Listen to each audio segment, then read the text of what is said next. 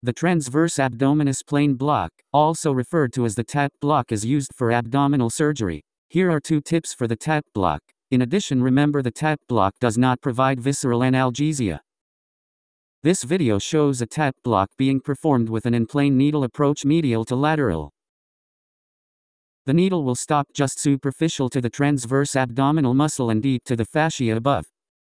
Also notice how the needle is plainly in view for safety. Once the needle tip is thought to be in correct position, a small amount of local anesthetic is injected to confirm correct position.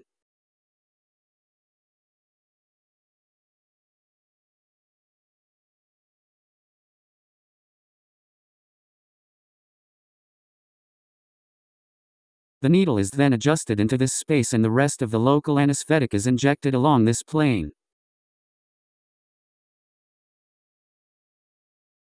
Notice how the fascia separates from the transverse abdominis muscle with this technique.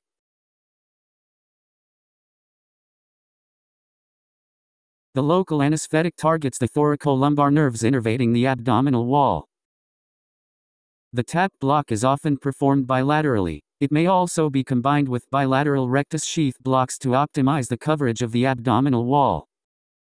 Thank you for watching. Please comment and follow PNB School to be a block expert.